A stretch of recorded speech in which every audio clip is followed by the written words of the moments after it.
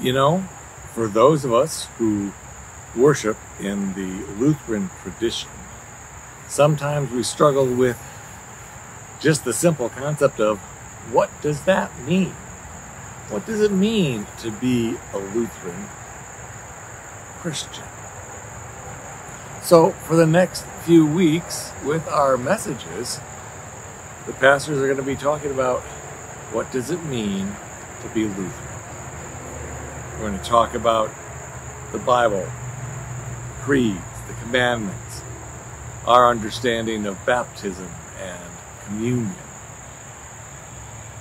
And we hope that you'll join us as we do that.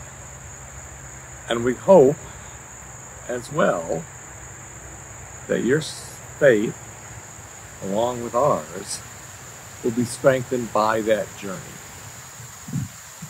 As together we all learn what it means to live like Jesus.